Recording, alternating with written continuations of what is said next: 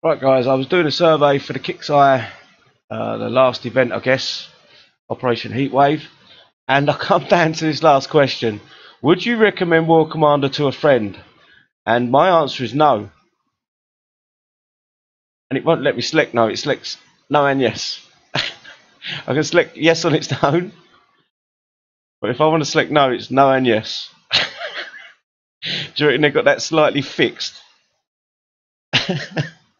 Oh dearie me, Kixeye. Or what is it? Surveymonkey.com. Making them false numbers. Uh, fuck it, I'll click no and yes, but it's no. I can't recommend to a game.